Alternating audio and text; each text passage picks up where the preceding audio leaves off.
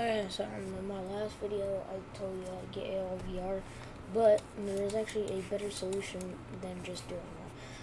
So first, go into any browser that you want. Oh, it's gonna take a while to load.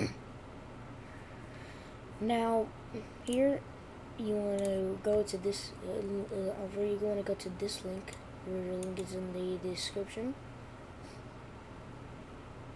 Oh my god. Alright, now, instead of going for the Windows launcher, you want to go for the Windows streamer. And don't worry, it is not a. But for that to load, then remove it from history. I will, I mean, if you want. And then go ahead and have this right here. So, you want to make a new folder for this one. So, just click on make new folder. And now you just want to drag it in here. So, you have this folder with this zip in it. Now, if you don't have WinRAR or anything, you could just extract it, but I do. I have 7-zip and WinRAR, so I'm just going to click on this and extract here. Now, once you've done that, it's going to be looking like this. It's going to be having all this stuff in here. And so you want to click on the dashboard, exe. Now it says this false positive, you just want to click on more info, and then we'll run anyway. Now, here it will take you directly into the setup wizard, so that way you don't have to add version. So click on next, next, next, and then if you want to have a mic, you want to download this, but I'm not.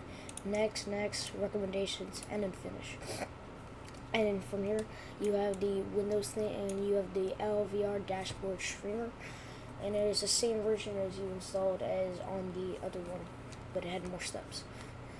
So you can play around with these. Just make sure you launch DVR. But um, so go to settings, and then you can play around with these video. So there's presets, or there's all these presets. Oh, also you can change your mic to whatever you want. And go to video. This is all what it has. That's all it has. Audio. This is what it has. Headset. Now here's where we get the good stuff. A headset. So go to headset sections, and you see the prediction you can tell the lower it is, the the lower it is, the higher the predictions somehow.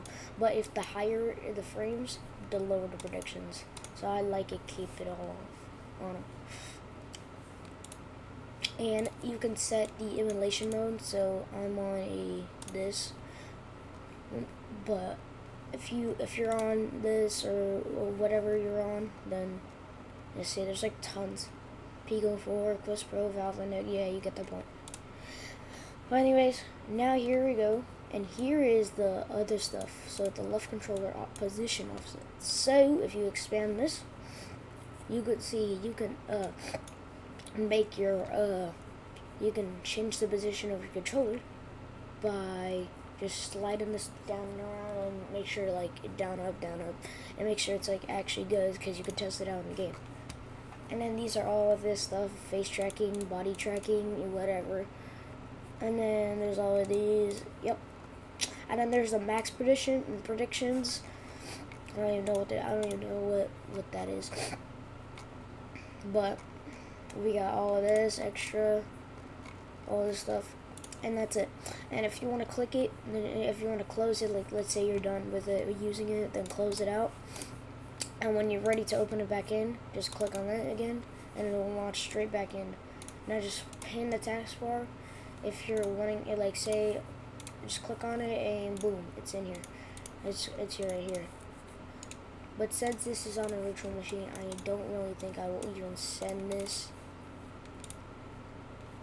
don't think I will even play with it a little but if this video is helpful if this, if this video was helpful to you, make sure to like and comment because this took a little bit uh while and also I was also on my virtual machine because I do not want to do it on my actual machine actual host computer. So if y'all enjoyed this video make sure to like and comment and subscribe so that way I can get to 30 subscribers our next milestone. Is coming close but hey yo we can make it. We can make it. All right. Well see y'all